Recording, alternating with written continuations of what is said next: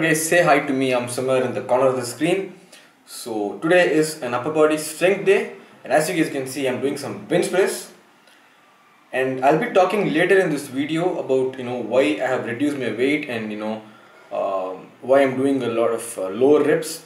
it's called as auto regulation. It'll be you know uh, discussed later on the video. So before we move any further, I want to tell you guys that this video has a lot of uh, important information. So so I want you guys to you know watch this video until the end. Do not skip any parts for your own good because a lot of things have been bottled up inside this and there's a lot of information in this video. So keep that in mind. So we finished some bench press and then we moved on to some uh, barbell rows okay? Now you can either do barbell rows or you can do dumbbell rows. All of this is a part of the program and that will be out pretty soon. Probably in the next six weeks or five weeks the program will be out so uh, that is that probably when i get back to mangalore you know i'll release the program so i'm doing around three sets of barbell rows around seven to eight reps as heavy as possible and I don't go till failure. So that is the concept of this. So after that we moved on to some overhead presses or OHPs. And again guys I might use a little bit of thrust as you guys can see but uh, yeah sometimes I did eliminate that I, I still need to work on that. So after that we moved on to some what we do what we do. We moved on to some oh my god I forgot guys like I need to see the clip. So we uh, pull-ups. So we moved on to some weighted pull-ups. Again guys three sets seven to eight reps. Not close to failure okay almost close to failure. That is what we're aiming for here. All these things will be discussed in detail in the program okay? So i'm using a normal belt for you putting the weight inside my uh, the belt for weighted pull-ups. So that is that. Do not skip the video. A lot of information coming up thanks for watching and you know uh, i'll see you guys on the next clip. Alright guys so what's going on? Hope you guys can hear me. So first of all for the past few days my videos have been getting like they were all vlogs. Some people liked it but you know it was not informative. In my opinion it was not informative because i was not giving you guys any you know honest advice and all these things. But now from now on my vlogs are going to be a mix of vlogs and then like you know uh, informative content. So that is why i started this clip off with some workouts so today was an upper, upper body strength day as you guys saw so what i'm going to talk to you guys uh, today is that i'm going to talk to you guys about a concept which is called as auto regulation okay it is called as auto regulation and it is very important in your lift. So what auto regulation is is that sometimes when you're fatigued and sometimes when you're not able to lift your expected amount of weight, instead of you know trying and going till failure, what you do is you kind of regulate the weight and then make sure you stay within your rep range. So uh, as you guys saw today, I was supposed to do 80% of my weight with five uh, with like six reps, but what I ended up doing was that I did the same 80% of my weight with just three reps. I could have done auto regulation in two ways. One way is I could have reduced my weight instead of doing 80% of my one rep max. I could have done something like 75% of my one rep max and then did the same as five reps. Or what I, or the other case is that it is what I did, right? I kept the weight same, but then I reduced my reps. I did like 80% of my weight with just three reps. The reason why I kind of brought auto regulation today is that yesterday was a shoulder day for me and my you know front delts were really taxed so that is why I couldn't like lift the same amount of weight on a bench so you know to get things back normal I wanted to perform my get back to my routine which was an upper body strength day which involved me to do my you know uh, bench press that is the reason why I kind of auto regulated so hope you guys got the concept. You don't always have to lift the same weight. Sometimes when you are taxed when your body is not able to lift heavy there is there is nothing wrong in reducing the weight a bit and then you know going for the uh, aimed rep range or making sure the weight is same and reducing rep range so that is that. Hope you guys got the point. So next clip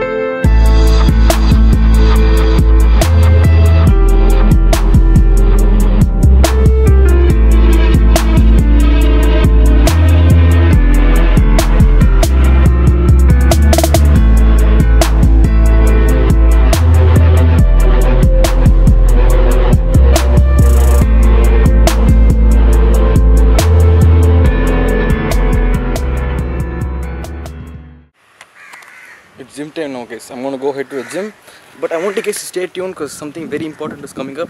I'm gonna talk to you guys about a very important thing. So stay tuned for that. I'm gonna go to the gym. I'll come back and talk to you guys about that. Alright guys so got back from the gym. We hit a low body strength day. It was epic. I went to gold's gym actually. I went to gold's gym. They had this trail pass so i went there. Long story bharat could not go to snap fitness so we had to go to some other gym whatever.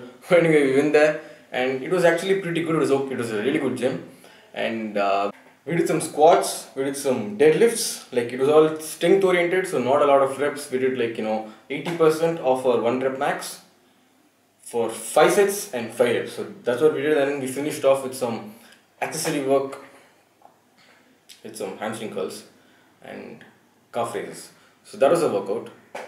Anyway moving on. Coming to the point of the video and the title of the video okay so first listen listen to what i'm saying with an open mind. Please don't get me wrong uh, that is something that i want to put first.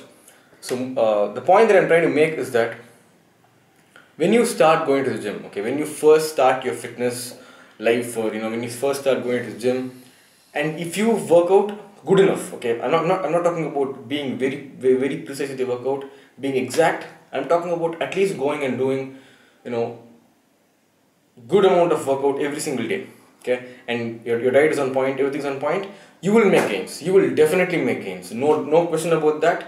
For your first year no matter what you do if you're consistent you will make gains. And you will actually make tremendous amount of progress okay? It happened to me like the, the day i stepped into, into the gym i was very consistent.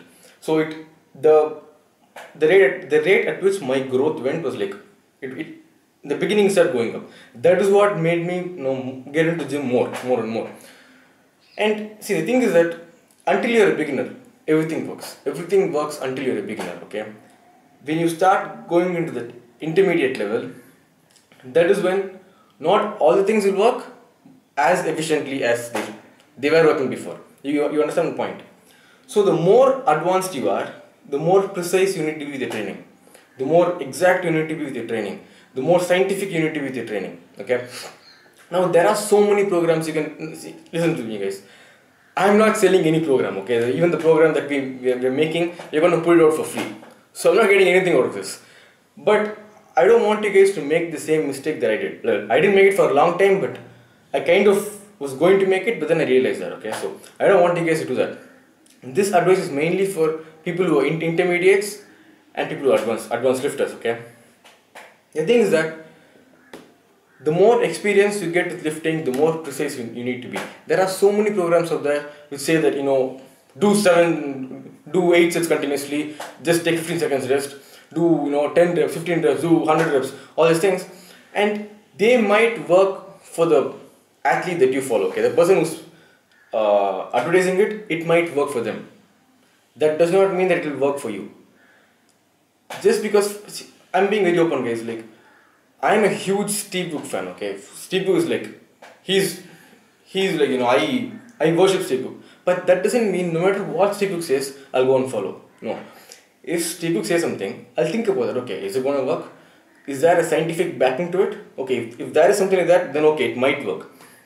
So that's the thing. Like, you can like someone, but that does not mean you need to follow everything they say do your own research. There are several, several, several researched, you know, uh, scientific people out there who can who give real advice, and these are natural bodybuilders. Okay. And second thing is that it it is a whole different thing if someone is on steroids, and it is a whole different thing if someone is natural.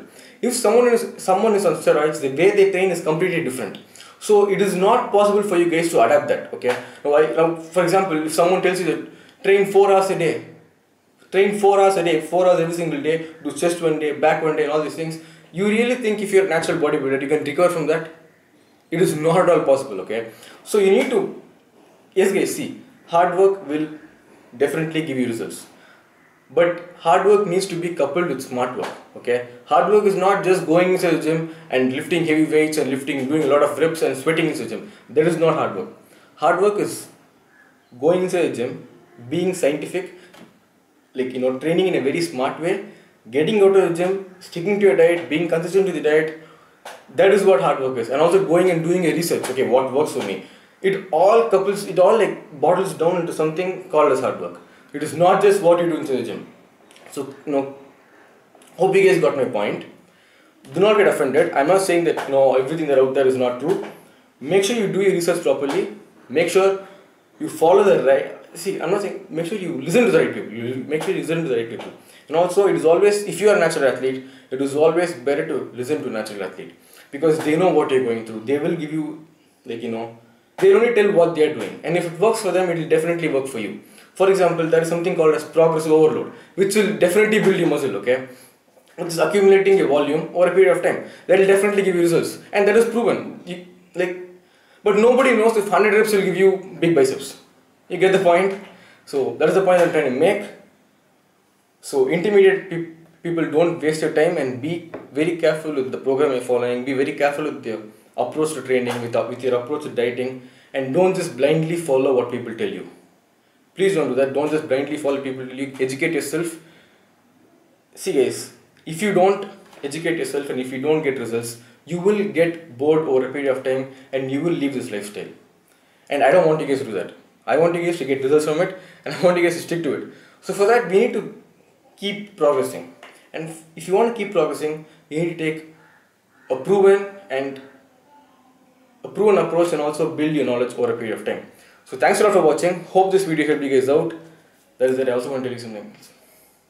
Yeah. So uh, online coaching, my online coaching slots are free right now. So if you guys are interested in online coaching, send me an email at gauthamansuperfitt at gmail.com. It is down on the screen somewhere here and also I'll put it in the description box. So if you want online coaching, if you want online coaching, send me an email. That is that and hope you guys like the video like and subscribe and also hope this video is informative because I've been getting some comments saying that your videos are not informative lately so yeah I I do agree with that thanks a lot for watching and I'll see you guys on the next one